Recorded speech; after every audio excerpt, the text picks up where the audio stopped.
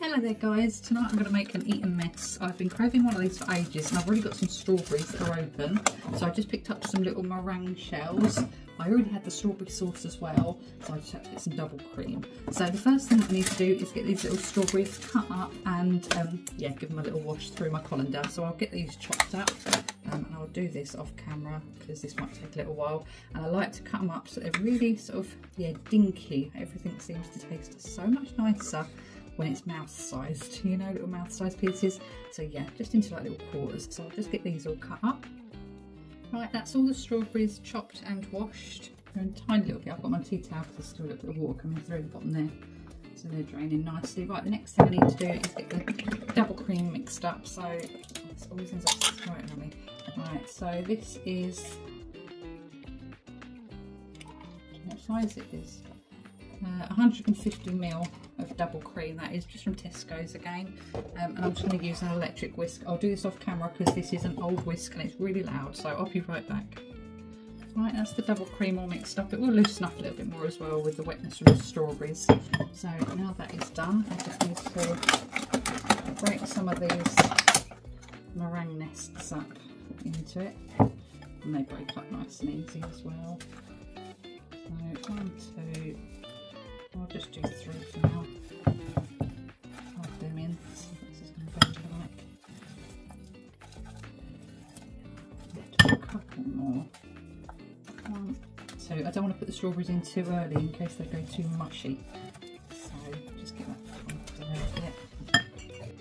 Sorry, my uh, son just coming back to frightened life at me. It's softening up already. Stick another one in there. Then I'll put some strawberries in.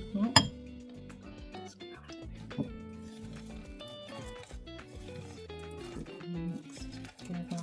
Oh, that smells nice. Okay, can't really see it too well from there. More strawberry. Oh, I might as well just use them all up because otherwise they're just gonna yeah, go to waste if not. And don't want that to happen. Don't like to waste anything in this house. Absolutely stunning. Okay, I think maybe one more little meringue nest because they do pretty much just break down to nothing, these little meringue things. Right. Smells nice, looks nice enough. So let me just tidy away. Right, okay. Both little bowls. in.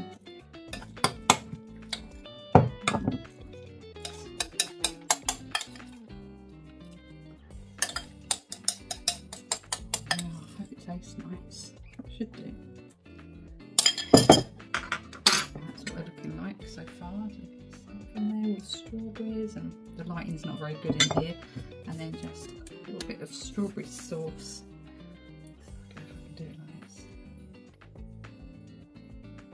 the top.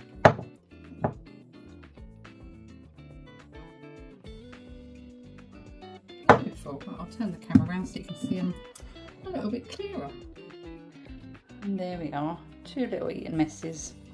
Oh, lives up to its name, doesn't it? Mess. right, I'm going to give it a try. trying this. Right, let's make sure we get a nice bit of meringue and strawberry in there as well.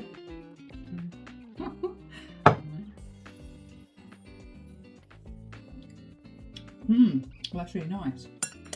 Ever so sweet because of that. Oh, that's really nice. Nice and refreshing after a nice hot day. Yeah, take care guys. Bye bye.